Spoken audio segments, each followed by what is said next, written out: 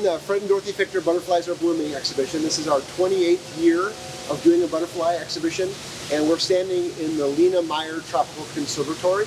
And this is a five-story space, 15,000 square feet, and it is 80 plus degrees with high humidity, so it feels like we're outside in the tropics. And uh, this is the observation station right behind me. This is where all of the butterflies come in as pupa or chrysalis, and they are pinned in much a similar way as they would be hanging in the wild.